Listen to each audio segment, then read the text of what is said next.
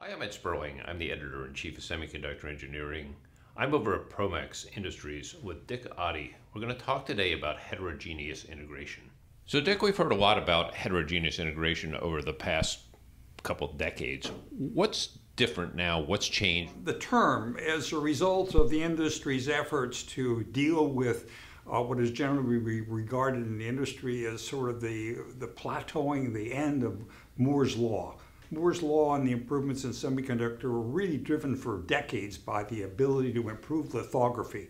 We've now gotten down to the point where the features are just a few atoms across and you can't make them less than one atom, as you would expect uh, to continue the increased functionality per unit density that is so important to reduce cost, increase functionality per unit volume, the industry has come up with what next, called more than Moore.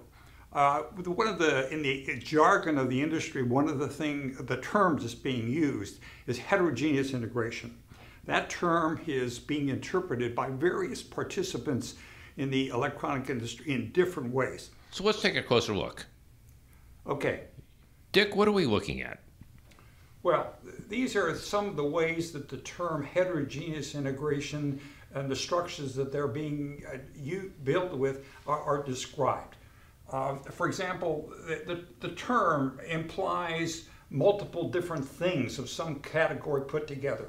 In the, in the industry, there are two kinds of things. One is different materials, and the other one is different kinds of parts. And for example, the, the, the, simplest and the original concept for heterogeneous integration came out of the semiconductor industry, where you've got a, a, silicon wafer here where I've cut out a piece of it as a typical die. And instead of having only silicon as the active material in the, in the die, people came up with the concept of using indium phosphide, germanium, and other materials that are integrated into it. And as soon as they started using more than this conventional silicon dopants and what have you, that term started to be called heterogeneous integration for obvious reasons. And that is widely used. There's a whole series of evolution going on around this concept here, especially as we get to the finer and finer nodes and get down into the less than 10 nanometer regimes. And these kind of things are being done. Indium phosphide, for example, is being put in photonic integrated circuits to give gain uh, for optical devices on silicon, because silicon is not a direct bandgap material as indium phosphide is. Germanium is being put down for photodetectors because it's really a good material con to convert light to electrons. And all this is, is now on die, but we're also going into packages too, right? This is how we're going to put all these pieces together. Yes, ultimately these things have to be packaged one way or another. Uh, and the packaging gets to be more complex as you would expect. Uh, for the you, for the photonic integrated circuits, for example, uh, packaging is often done in, in, in, ceramic packages because of its rigid stability, ability to tolerate temperature, uh, and handle heat. Uh, that is not ideal from a cost point of view, of course, and there's a lot of effort in the industry to figure out how to utilize these more complex structures with lower cost packaging schemes built on lead frames, built with overmolding and the more conventional low-cost schemes that everybody's familiar with. And that's requiring the development of new materials, new polymers for encapsulation, et cetera. So there are some challenges in picking the right package here, though, right? Uh, yes, very much so. And the package is a strong function of the end use. And the parameters one has to look at is first the physical size of the die, its characteristics and what it needs for a package to be protected on the one hand and interconnected with the next layer and, and how it can handle thermal, which is in recent years risen to be almost the dominant issue in, in next generation packaging, particularly for the high power devices that are rapidly emerging to support automotive. It, it, a lot of those devices use surprisingly large amounts of copper. They operate at surprisingly high temperatures. Some of them literally glow in the dark.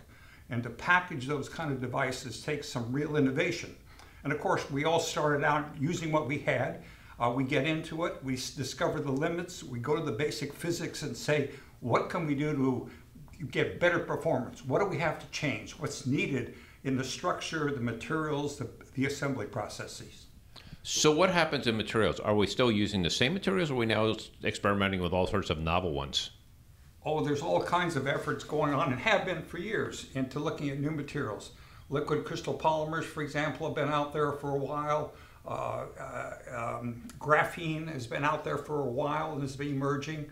Uh, a diamond, for example, every 10 years somebody comes up with a way to dramatically reduce the cost of diamond to incorporate it to get its enormously high thermal conductivity. There's been a recent group of those that have shown up um, in signals for communication and to handle the very high densities of information that are now being used in artificial intelligence die and, uh, and image recognition die uh, that are sort of built at the, the really the fine leading edge uh, nodes, uh, five nanometer, et cetera nodes. They have very large numbers of IOs. Thousands of IO per die is now common. So that's the exact opposite of the, of the automotive industry, where you've got four or five leads that handle hundreds of amps. Now you're down into handling picoamps here, but there's thousands of them that have to be interconnected. And of course, if one of them is not connected, funny things happen, maybe, unless you've got redundancy built in, and more and more redundancy is being built, and so you go those kind of directions. Your first diagram here is what's happening on die. What happens on wafer? How does that change? Well, uh, th this is all being done on wafer. Okay, once you've got the wafer and you start to singulate it into individual die of all sorts that can be made these days, the next thing is how do you combine them together? And one of the common things you're hearing about these days is chiplets and interposers. And you know, an interposer, for example, can be a printed circuit board, or it can be aluminum oxide, or silicon, or even glass, and with interconnect structures built on it and in it. And then there's a variety of different kinds of devices that can be mounted on it. Now, this is not a new concept. Historically, we call these hybrids. And what, what's happened in recent years is, is the features have gotten a lot finer. And the ability, classic hybrids were built with thick film, and that's really te uh, technology that's inadequate for what's needed today for these high densities that we're achieving. So now you've got to go to thin film structures that can get to micron, or 10 micron kind of dimensions for lines and spaces. And that's what's needed on substrates to interconnect die. And of course, once you have a platform that you can put die down, there's nothing that keeps you from putting down a, a silicon die made at 60 nanometers here, one made at leading edge 10 nanometers over here, maybe a photonic integrated circuit built here that has no electronics, just waveguides in it. Uh, maybe something made with gallium arsenide. And then you want to interconnect all of these. And the interconnect scheme that's being talked about a lot is something called chiplets. And they have, uh, there are all kinds of schemes out there for interconnecting them. Some of them use flip chip and just mount them on the board and have the interconnects uh, built into the substrate. Others put polymers in between them and build some kind of a bridge across them. Uh, the, the, the, Intel has several schemes, TSMC has several schemes.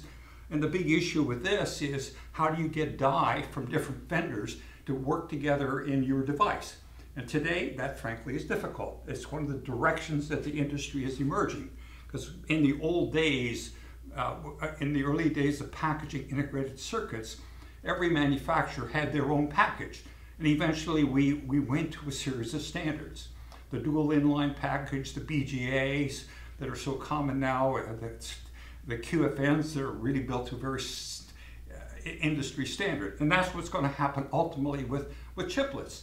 But it's unclear what the interconnect method will be and what the dimensions and all that'll be yet. But it's just emerging. And it also depends on things like uh, characterization of the individual chiplets, the coefficients of thermal expansion, all those kinds of issues you have to think about, right? That, Most of this has been one vendor doing all everything themselves, right? Yeah, so, yes. so what changes when you start getting into a commercial chiplet world? Yes, well, that gets to be really interesting because now the designer, he's getting parts from vendor A and vendor B, and his issue is how does he interconnect them? He becomes the designer of the interposer, he becomes the designer of the interconnect structure. And I anticipate the arrival in the industry of, of a new service of people like us providing schemes for making interconnections between chiplets from a variety of sources. And what sort of issues do you run into there that you have to resolve? Oh, everything you can imagine. How do you put them down? What is the metallization on the die? What metals can be used to connect die A to die B, what's its physical geometry, how to ensure that it has a performance in the real world of uh, highly accelerated testing, uh, thermal cycling, exposure to humidity, and all those kind of issues. So there's a lot of development to be done to qualify uh, interconnect schemes for this. And they will initially be done by the big guys like Intel, TSMC, but eventually they will come down to being available broadly for the industry. But it's going to take a while. You're talking five, ten years. Another issue that comes up here is when you think about uh, most of the chips that have been designed, there's a fair amount of margin built into those uh, one die type of chips. Now that you start putting multiple dies together, you're starting to try and cut down that margin, right? Because you really want to narrow down to this is exactly what you need. Yeah, oh, very much so. The, the reason to go from package die to bare die, as is being done in interposer, is to get rid of all of the parasitics associated with the interconnect path. And one of the things that you want to get rid of, frankly, is the ESD protection. People don't generally know it, but most die that are commercially used have got a fair amount of space used to provide, provide ESD protection so the devices don't fail. So all of a sudden, vendors like us that have to, to, to, build these devices have to have really good ESD control in our environments. You can't just build them like you do in a surface mount environment where it's kind of out in the open. You got to build them in a room, uh, sort of a clean room that has very good control on ESD. Uh, that means very good, very high humidity, at least 40%, ideally closer to 60 uh, and uh, good gowning and all those things here when you take the ESD out of the die and, and, then start working with them. And that's one of the things going on. We're starting to see that kind of thing. We always have because we've always done a lot with raw die that are test structures for our industry, being here in Silicon Valley as we are. So where does this go next? Well, we started out doing something, adding extra stuff to the die at the wafer fab level. Then we talked about how we take a bunch of different sources of die and put them together the next thing that's happened is people have taken this term heterogeneous integration and pushed it even further. Instead of, instead of putting down just elect, electronic parts and semiconductor devices, they're now doing things like taking a substrate here of some sort, mount, putting mechanical parts on it that might be electrical connectors or things to screw it into something or something to provide a heat path out. They might have a chemistry on it, for example, for biotech analysis where you interact with the electronics that might be built into the substrate. Or you might have optics in it in the form of a prism or lenses or dichroic filters. And all of those are all built up in the third dimension. And when you start taking non-electronic components and combining it with electronics, you have to modify your assembly processes to accommodate these characteristics. For example, if you put a chemistry on a surface and you want to build it into something, the issues you get into is first, you can't water wash it anymore. Secondly, you can't heat it to 260 degrees centigrade to reflow solder it. In fact, some of the materials that we see you can't even heat to 40 degrees centigrade. You can't go above body temperature. So when you're not working on them, you got to store them in a refrigerator, for example. Uh, optical devices are highly susceptible to scratching and, and particles. And a lot of electronic at the assembly level, particles are not a big deal where you get into optics, a five micron particle can ruin an image sensor, for example, that's got one, two uh, micron pixels in it. One particle, bam, the whole thing doesn't get, you get a you know blob in the image. So. So the trend initially, when we first got it into packaging, is oh, we're going to move some of the things that are on the, the PCB into the, the package. This is now multiple PCBs, right? Uh, yes, this can be multiple PCBs here all work together uh, and some kind of a structure. And this may or may not be a printed circuit board. It, it could be something else. But circuit boards, uh, uh, interposers built on silicon or ceramic, or all of those things are being done. This is smaller, faster, uh, not necessarily less expensive, right? Uh, agreed. The objective generally is to get greater functionality, uh, smaller physical volume, and ultimately lower cost. In, in general, our functionality has been going up so fast that our costs have, have not kept, have not uh, uh, haven't gone up as fast, and we're getting far and more functionality per unit dollar here as time goes. One of the things that's going on is that we've discovered that all of these things can be miniaturized as well. So the quantities of material consumed are actually going down, and we're putting more effort into value added, meaning processes of some sort to, to manipulate the, rel- the declining quantities of material we're utilizing. Is heat the number one challenge here? Uh, it, it, depends upon the application. In, in automotive high power devices, for sure. And photonic devices, yes, it's a major driver. What do you, where do you put the laser? Because photonic devices like these are highly susceptible to thermal expansion here, given the, the given how sensitive light is. Automotive, it's a driver. Uh, uh, in signal integrity kinds of things, it's not, it's not a driver there yet, but it, it's getting there. What do we need next to make all this work? We need continuing evolu evolution and development of new materials and new processes and things to be built smaller. You know, th those people who are skilled in mechanics and machining, for example, there's kind of a magic number in machining. If you try to make something that with a precision of more than about two tenths of a mil, uh, which is 10 microns in the world of mechanics, that's really hard to machine parts to something tighter than that. In the world of electronics that we're working in here, there's nothing magic about 10 microns. We're way below that in size in many things we're doing. And what's necessary now is for us to develop methods of fabricating parts with tolerances far tighter than are traditionally done in, in metal devices. Semiconductor has the lithography to do it. The MEMS devices that we build, of course, are built with far tighter tolerances than that. And that kind of demand is going everywhere. So processes that can have handle very small parts with very tight tolerances are a major need that is evolving and it's just going to continue going. There's a famous paper by a guy named Feynman, a physicist at Caltech, that says there's a lot of room at the, at the, at the bottom. And we are still chasing that. We are nowhere near the limits of what is viable here. And given the trends, it's just going to keep going for at least another decade, maybe two. Dick Otte, thanks for a great explanation. You're welcome.